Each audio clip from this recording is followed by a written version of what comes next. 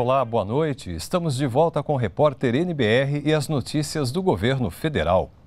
De olho na reforma da Previdência, o governo quer alterar as regras para garantir que todos possam se aposentar com segurança no futuro. Mas para isso, as mudanças precisam ser feitas agora. É o que vamos ver na terceira e última reportagem especial sobre a reforma da Previdência.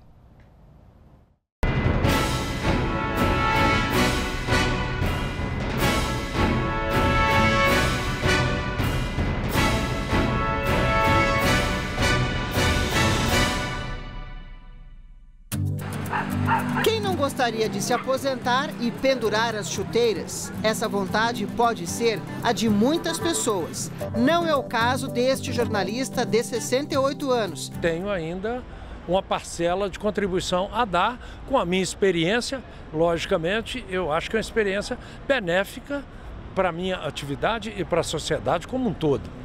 Também aqueles que já poderiam ter se aposentado pelas regras atuais. É o caso deste analista ambiental do IBAMA. Ele tem 37 anos de contribuição à Previdência, dois a mais do que é exigido pela lei. Pretendo ainda continuar trabalhando pelo menos até 2019, algo que eu estou estabelecendo. Eu me considero que eu tenho muito a contribuir ainda, né?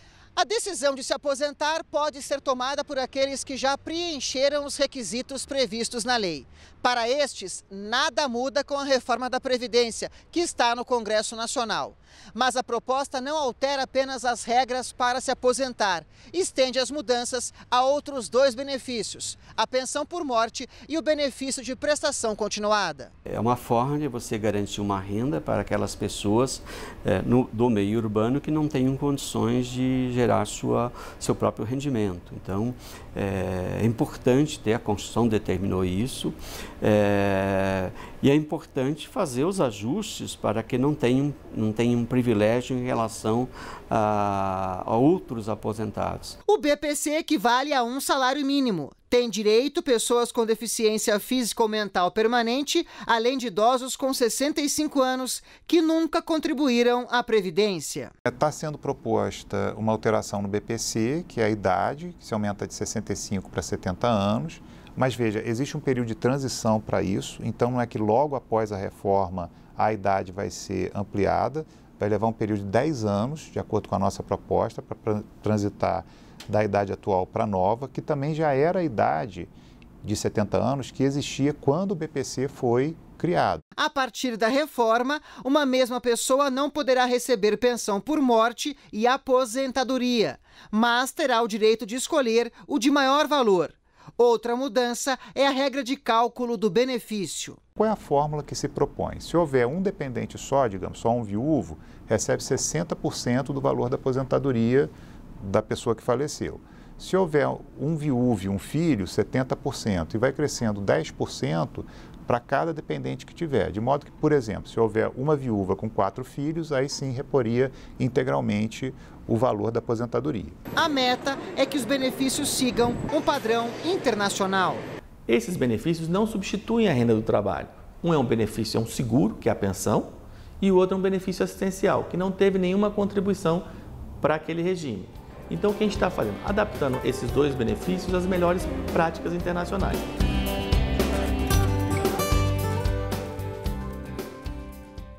No ano passado, o governo federal conseguiu reduzir as despesas de custeio, como na compra de passagens aéreas e aluguel de imóveis. Descontada a inflação do período, a economia foi de 2,6% no total de gastos. Em 2016, o governo federal gastou 34 bilhões e 900 milhões de reais com o custeio da máquina pública, 1 bilhão e 600 milhões de reais a mais do que o registrado em 2015. Apesar desse aumento nos valores, na prática houve uma diminuição nas despesas do governo.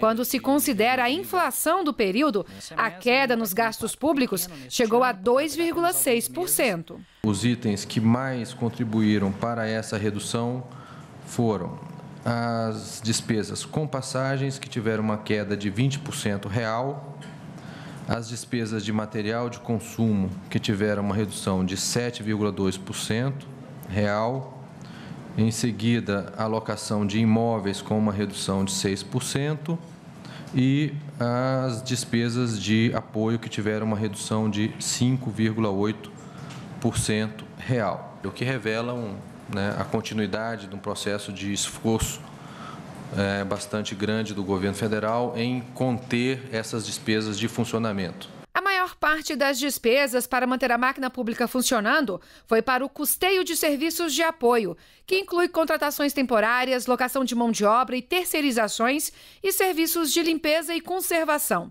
Em seguida, vem as despesas com material de consumo e com comunicação e processamento de dados. Para economizar na conta de luz, o governo vai mudar a forma de comprar energia elétrica. Em vez de adquirir das concessionárias que oferecem o produto ao consumidor final, o governo vai comprar diretamente das geradoras de energia.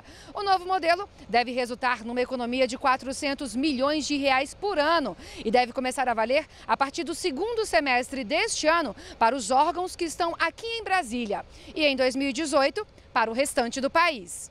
Pelo porte e pela, pelo volume que é consumido, o governo federal passará a adquirir energia através do mercado livre, ou seja, comprando diretamente das geradoras a energia né, e pagaremos para as distribuidoras locais apenas o custo de transmissão da energia.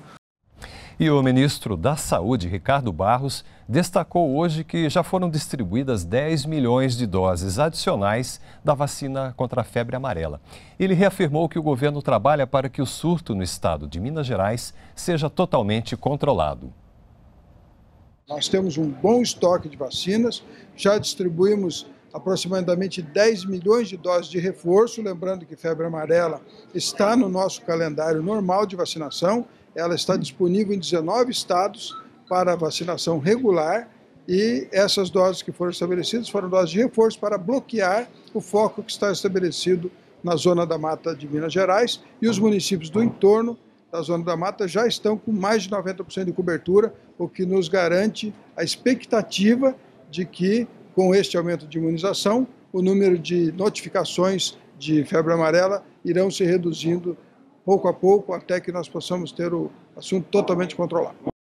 Nós ficamos por aqui e podemos voltar a qualquer momento com outras informações ou às 8 da noite na próxima edição do Repórter NBR. Acompanhe as novidades também pelas nossas redes sociais e continue com a gente aqui na NBR, a TV do Governo Federal.